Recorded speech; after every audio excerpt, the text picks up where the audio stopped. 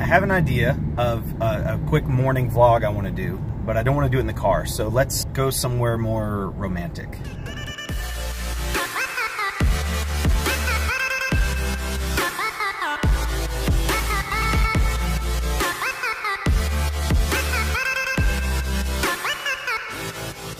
I wanted to do a video about what I do for a living because I'm not not quite a full-time YouTuber yet.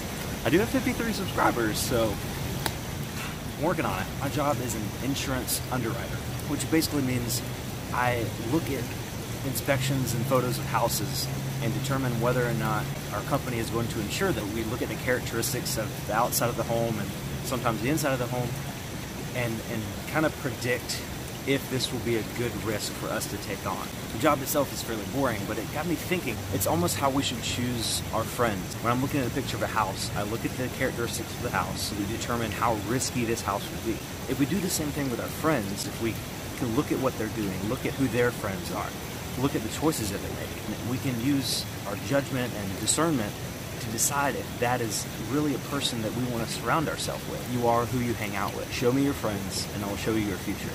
The people you surround yourself with and the people you choose to be friends with are going to have an effect on you.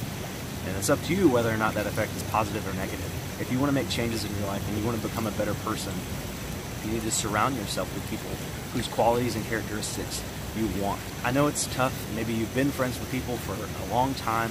Maybe they don't share the same values as you, and maybe they're making poor choices in life, but you still feel like you should be their friend because you've been friends with them for so long. So I challenge you, you know, look at look at your current friendships and decide whether or not it's worth it for you and your well-being to stay in those relationships. And with your future friend relationships, just have good judgment.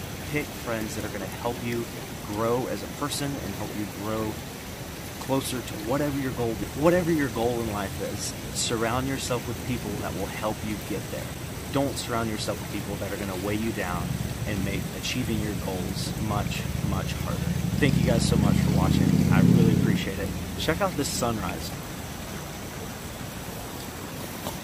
Now I will serenade you as you watch the river.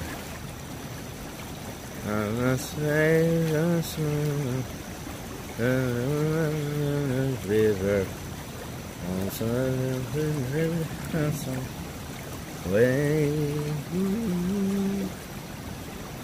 That's that's all you get. You gotta subscribe for more.